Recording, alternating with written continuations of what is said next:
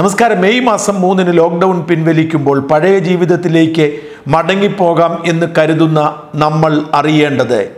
May മൂന്നിനോ June മൂന്നിനോ July മൂന്നിനോ ഒന്നും അത് സാധിക്കുകയില്ല എന്നതാണ്. മെയ് മൂന്നിന് ഒരുപക്ഷെ സാങ്കേതികമായി രാജ്യവ്യാപകമായ ലോക്ക്ഡൗൺ പിൻവലിച്ചെന്ന് വരാം.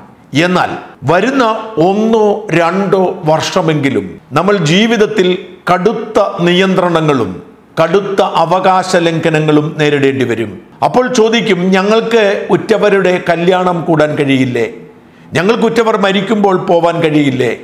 ഞങ്ങൾക്ക് പള്ളിയിലും അമ്പലങ്ങളിലും പോയി പ്രാർത്ഥിക്കാൻ കഴിയില്ലേ? ഞങ്ങൾക്ക് ആഘോഷങ്ങൾ നടത്താൻ കഴിയില്ലേ? ഞങ്ങൾക്ക് മാളുകളിൽ പോയി ഷോപ്പിംഗ് നടത്താൻ കഴിയില്ലേ? ഞങ്ങൾക്ക് ഞങ്ങളുടെ മക്കളെ സ്കൂളുകളിൽ അയക്കാൻ കഴിയില്ലേ? ഇങ്ങനെ ഒരുപാട് ചോദ്യങ്ങൾ സ്വാഭാവികമായും ഉയർന്നു വരും. കണിശമായും ഇത്തരം എല്ലാ കാര്യങ്ങളിലും മാസങ്ങളോളം ഒരുപക്ഷെ ഒന്നോ രണ്ടോ വർഷങ്ങളോളം നിയന്ത്രണമുണ്ടാവും എന്ന കാര്യത്തിൽ തർക്കമൊന്നും വേണ്ട. മെയ് മൂന്നിന് ലോക്ക്ഡൗൺ പിൻവലിക്കുമ്പോൾ എന്തു സംഭവിക്കും എന്നറിയാൻ ഒരു എളുപ്പവഴിയുണ്ട് പൂർണമായ ലോക്ക്ഡൗണും നിയന്ത്രണവും നീക്കി ഇളവുകളോടുകൂടി ഗ്രീൻ സോൺ ഓറഞ്ച് സോൺ എന്നൊക്കെ പറഞ്ഞ് നമുക്ക് സ്വാതന്ത്ര്യം സർക്കാർ ഈ അടുത്ത കാലത്ത് തന്നല്ലോ. എന്നിട്ട് എന്തു സ്വാതന്ത്ര്യമാണ് നമ്മൾ അതിനു മുൻപുണ്ടായിരുന്നതിനേക്കാൾ കൂടുതൽ അനുഭവിക്കുന്നത്? അതുകൊണ്ട് പറയുകയാണ് മെയ് മൂന്നിന് ലോക്ക്ഡൗൺ എന്ന പേര് മാറ്റി മറ്റൊരു പേരിലേക്ക് നിയന്ത്രണങ്ങൾ മാറ്റുന്നതല്ലാതെ നമ്മൾ അനുഭവിച്ചു കൊണ്ടിരുന്ന ഒരു സ്വാതന്ത്ര്യവും നമുക്ക് തിരിച്ചു കിട്ടാൻ പോകുന്നില്ല. അതിനൊരു കാരണമുണ്ട്.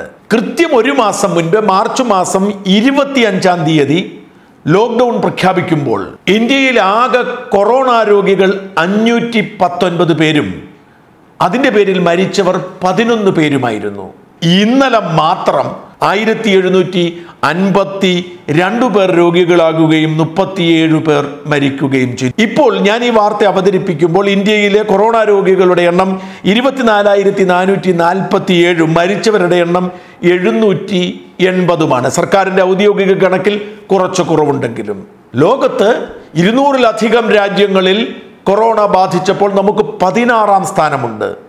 നമ്മൾ കൊറോണയെ അതിജീവിച്ചിരിക്കുന്നു. ഇന്ത്യൻ മോഡൽ ലോകം മുഴുവൻ അംഗീകരിക്കുന്നു എന്നൊക്കെ പറഞ്ഞ് സ്വയം അഭിമാനിക്കുമ്പോഴും നമ്മുടെ അവസ്ഥ ഒട്ടും മെച്ചമല്ല. മറ്റേതൊരു രാജ്യത്തെയും പോലെ തന്നെ നമ്മൾ രോഗത്തിന് ദൈനംദിനം അടിമകളായിക്കൊണ്ടിരിക്കുന്നു.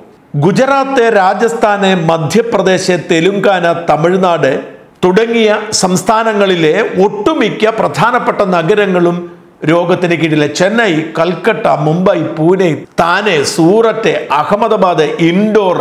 ഇപ്പോൾ കേൾക്കുന്നു ബാംഗ്ലൂർ. അങ്ങനെ ഇന്ത്യയിലെ പ്രധാനപ്പെട്ട നഗരങ്ങളിലൊക്കെ ഇത് പടർന്നു കഴിഞ്ഞിരിക്കുന്നു. സാമൂഹ്യ വ്യാപനം തടഞ്ഞു എന്ന് കേന്ദ്ര സർക്കാർ അവകാശപ്പെടുമ്പോഴും അത് തെറ്റാണ് എന്നതാണ് യാഥാർത്ഥ്യം. കാരണം ഒരു മാസത്തിന് മുൻപാണ് വിദേശത്തു നിന്നും ഇവിടെ വിമാനങ്ങൾ എത്തിയത് അതുകൊണ്ട് നേരിട്ട് എത്തിയവരല്ല ഇപ്പോഴത്തെ രോഗികൾ. സാമൂഹ്യ വ്യാപനം വഴി സംഭവിച്ചവരാണ്. നമ്മൾ കേരളം പൂർണമായും നിയന്ത്രണ വിധേയമായി എന്ന് പറഞ്ഞ് അഭിമാനിക്കാൻ ശ്രമിക്കുമ്പോഴും ഓരോ ദിവസവും നമുക്ക് പുതിയ രോഗികളെ കണ്ടെത്താൻ കഴിയുന്നു. ഇരുപത്തയ്യായിരം രോഗികൾ ഇപ്പോൾ ഉണ്ടെങ്കിൽ അത് രണ്ടര ലക്ഷവും ഇരുപത്തഞ്ച് ലക്ഷവും ആകുന്നത് തടയാൻ പ്രയാസമാണ്. മാത്രമല്ല മൺസൂൺ കാലം ആരംഭിക്കുകയാണ്. നമുക്കറിയാം മേടമാസം പകുതിയായിരിക്കുന്നു. ഇനി ഇടവമാണ് ഇടവത്തിന് നമുക്കറിയാം ഇടവപ്പാതി നമുക്കറിയാം ജൂണിൽ മഴ തുടങ്ങുന്ന കഥ. ഈ ജൂൺ ജൂലൈ ഓഗസ്റ്റ് മാസങ്ങളിലാണ് കേരളത്തിലടക്കം ഇന്ത്യയിൽ എല്ലായിടത്തും പനി ഉണ്ടാവുന്നത് പകർച്ചവ്യാധികൾ ഉണ്ടാവുന്നത്. നമുക്ക് ഡെങ്കിപ്പനി എലിപ്പനി ചിക്കൻ ഗുനിയ എന്തെല്ലാം തരം രോഗങ്ങളാണ്. നമ്മൾ നിപ്പയും കൊറോണയും മാറ്റിവെക്കൂ. അതായത് എല്ലാ ഗ്രാമങ്ങളിലെയും എല്ലാ ആശുപത്രികളും നിറയും.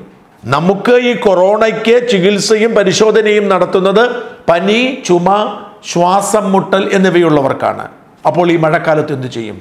എല്ലാവർക്കും പനിയും ചുമയും ശ്വാസം മുട്ടലും വരും. എല്ലാവരും പരിശോധിക്കും. ഞാൻ ഒരു പനിക്കും ഒരു ചുമയ്ക്കും ഒരു ശ്വാസം മുട്ടലിനും ആശുപത്രി പോകുന്ന ആളല്ല. എനിക്കും മഴക്കാലത്ത് വല്ലപ്പോഴുമൊക്കെ പനി പിടിച്ചിട്ടുണ്ട്. ഞാൻ വീട്ടിലിരുന്ന് ആയുർവേദ മരുന്ന് വല്ലതും കഴിക്കും. ഒരു നിവൃത്തിയുമില്ലെങ്കിൽ പാരസെറ്റമോൾ കഴിച്ച് മറ്റന്നാൾ ആൾ ആശുപത്രി പോയിട്ടേ ഇല്ലാത്ത ആളാണ്. പക്ഷെ ഇക്കുറി എനിക്ക് പനി വന്നാൽ ഞാനും ആശുപത്രിയിൽ പോകും. എന്റെ മക്കളെ ഞാൻ മൂന്ന് ദിവസം ആവാതെ ആശുപത്രി കൊണ്ടുപോകുന്ന ആളല്ല. പക്ഷെ ഇക്കുറി ഞാൻ ആദ്യം തന്നെ കൊണ്ടുപോകും. അതായത് എല്ലാവരും ആശുപത്രിയെ ആശ്രയിക്കാൻ കാത്തിരിക്കുന്നു അപ്പോൾ നമ്മുടെ ആരോഗ്യ സംവിധാനം തകർന്നിരിക്കും ഇവിടെയാണ് നമ്മൾ ലോക്ക്ഡൗൺ പിൻവലിക്കുകയും സാധാരണ ജീവിതത്തിലേക്ക് മടങ്ങി വരികയും ചെയ്യുന്നത് വെറും സ്വപ്നമായി മാറുന്നത്. അതുകൊണ്ട് എനിക്ക് എന്റെ പ്രിയപ്പെട്ട പ്രേക്ഷകരോട് പറയാനുള്ളത് ഒരു വർഷം വീട്ടിലിരുന്ന് അടുക്കളയിൽ പണിത് കുട്ടികളെ സ്നേഹിച്ച് കൃഷി ചെയ്ത് ജീവിക്കാൻ പരിശീലിക്കുക. ഞാനൊരു വിദഗ്ധനല്ല ഞാനൊരു പ്രവാചകനല്ല പക്ഷെ ഞാൻ മനസ്സിലാക്കുന്നതനുസരിച്ച് ഈ ഒരു അക്കാദമിക് ഇയർ നഷ്ടമാകാനാണ് സാധ്യത. കാരണം ഒരു കാരണവശാലും നമുക്ക് സോഷ്യൽ ഡിസ്റ്റൻസിങ് പാലിക്കാൻ സ്കൂളുകളിൽ കഴിയില്ല. കുഞ്ഞുങ്ങളെ ഒരുമിച്ചിരുത്തിയെ പഠിപ്പിക്കാൻ കഴിയൂ. നമ്മുടെ സ്കൂളുകളിലെല്ലാം നിറയെ കുട്ടികളാണ്.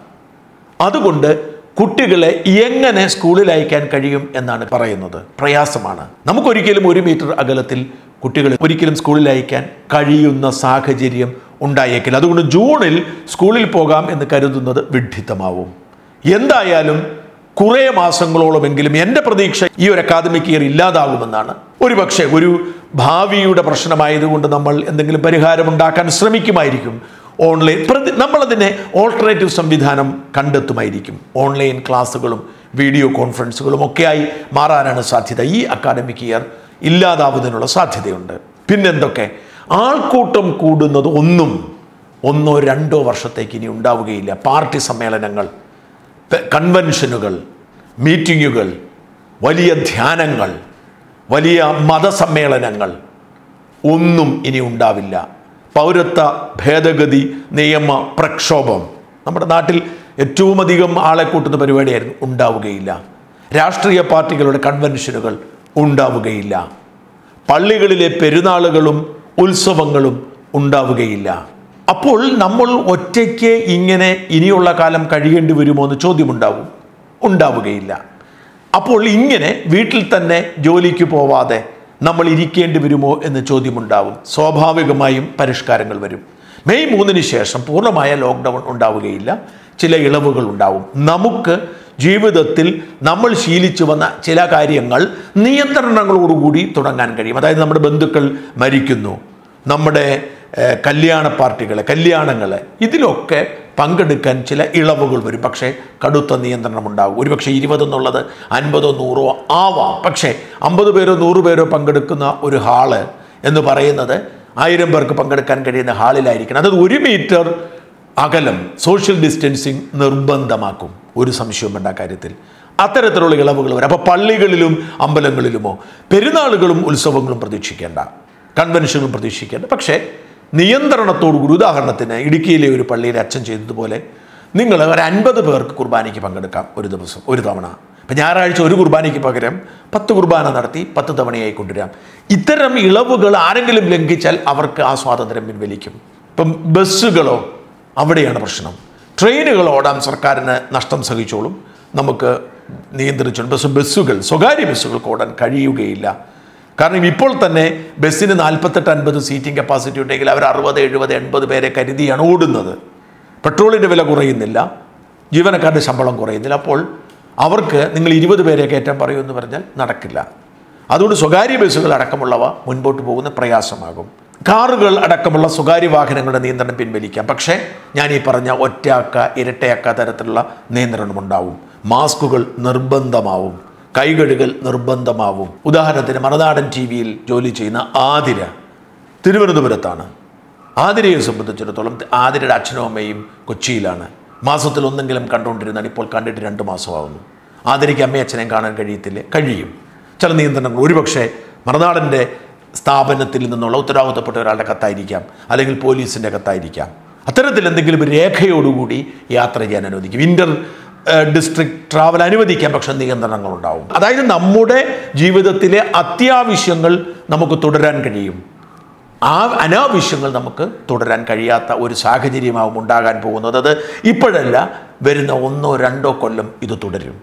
ആകെ സ്കൂളുകളും കോളേജുകളുടെയും കാര്യത്തിൽ മാത്രമാണ് ഒരു ആശയക്കുഴപ്പം ബാക്കിയാവുന്നത്. ബാക്കിയൊക്കെ വലിയ നിയന്ത്രണങ്ങളോടുകൂടി അതായത് പോലീസിനും സർക്കാരിനും പൗരന്മാരുടെ മേൽ കടുത്ത നിയന്ത്രണങ്ങളോടുകൂടിയായിരിക്കും ഇനിയുള്ള കാലം. പ്രകൃതി ഒരു തിരുത്തൽ നടത്തിയിരിക്കുകയാണ്. ആ തിരുത്തലിന് നമ്മൾ സഹകരിക്കാൻ ബാധ്യസ്ഥരാകും. നിങ്ങൾക്ക് തോന്നിയതുപോലെ എവിടെ പോകുന്നു എന്ന് ആരോടും ഉത്തരം പറയരുതാത്ത സ്വാതന്ത്ര്യത്തിന്റെ കാലം ഇല്ലാതാവുകയാണ്. എവിടെ പോകുന്നു എന്ന് പറഞ്ഞിട്ട് മാത്രമേ ആർക്കും പോകാൻ കഴിയൂ. ഇപ്പോൾ ബ്രിട്ടൻ ഇപ്പം അവർ ഇളവുകൾ വരുത്തിയിരിക്കുന്നു. പത്ത് പേർക്ക് അവർ ഒരുമിച്ച് കൂടാം. ബന്ധുക്കളെ നിങ്ങൾക്കൊരു ഒരുമിച്ച് വെളിയിൽ പോയി ഭക്ഷണം അങ്ങനെ മാറ്റണം റെസ്റ്റോറന്റുകളെ നമ്മുടെ ജീവിതത്തിലെ എല്ലാ സ്കൂ എല്ലാ സ്ഥാപനങ്ങളെ മാളുകളൊക്കെ നിയന്ത്രണങ്ങളോടെ തുടരും. പക്ഷേ നമുക്ക് ഇപ്പോഴുള്ള ആൾക്കൂട്ടത്തിന്റെ പത്ത് ശതമാനത്തിൽ കൂടുതൽ ഉണ്ടാവാൻ അനുവദിക്കുകയില്ല. ഇതൊക്കെ തെറ്റിക്കുന്നവരുടെ മേൽ നടപടി ഉണ്ടാവും. ഒരു തർക്കവും വേണ്ട ഇനിയുള്ള ജീവിതം ഇങ്ങനെയാണ് അപ്പോൾ ബിസിനസ്സുകൾ എങ്ങനെ ലാഭത്തിലാകും എന്ന പ്രശ്നമുണ്ട്. ബിസിനസ്സുകൾ പ്രതിസന്ധിയിലാണ്. ഒരു സംശയവും വേണ്ട. ഇത് മുൻപോട്ട് പോകുമ്പോൾ ഉണ്ടാകുന്ന വലിയൊരു പ്രതിസന്ധിയാണ്. അതിൽ ഏറ്റവും കൂടുതൽ തകർന്നടിയാൻ പോകുന്നത് ഹോട്ടൽ ടൂറിസ്റ്റ് ബിസിനസ് ആയിരിക്കും. അത് അത്യാവശ്യമല്ല വിനോദം എന്ന് പറയുന്നത്. നിങ്ങൾക്ക് കുടുംബസമേതം റിസോർട്ട് പോയി താമസിക്കുക കുടുംബസമേതം യാത്ര ചെയ്യുക ഇതൊക്കെ ഇല്ലാതാകും പൂർണമായും ഇല്ലാതാകും. അതിനെ ആശ്രയിച്ചു കഴിയുന്ന രാജ്യങ്ങൾ മൗറീഷ്യസും മാലിയും തായ്ലൻഡുമൊക്കെ വേശ്യാവൃത്തിയിലേക്ക് തിരിയും. മറ്റൊരു വഴിയും അവർക്ക് ഇല്ലാതാകും. നമ്മളെപ്പോലുള്ളവർ കാർഷിക വൃത്തിയിലേക്ക് തിരിയും. അമേരിക്കയെ പോലുള്ള രാജ്യങ്ങൾ വികസിത സമ്പന്ന രാജ്യങ്ങൾ വൃദ്ധരെ മരിക്കാൻ വിട്ടുകൊണ്ട് അവർ ബിസിനസ്സിലേക്ക് തന്നെ മടങ്ങിപ്പോകും. ഇനി വരാൻ പോകുന്ന കാലത്ത് ഇങ്ങനെയൊക്കെ ആയിരിക്കും സംഭവിക്കുന്നത്. അതുകൊണ്ട് തയ്യാറെടുക്കുക. കുറഞ്ഞത് ഒരു രണ്ട് വർഷമെങ്കിലും നമുക്ക് ഇങ്ങനെയൊക്കെ നിയന്ത്രണങ്ങളോടുകൂടി മാത്രമേ ജീവിക്കാൻ കഴിയൂ.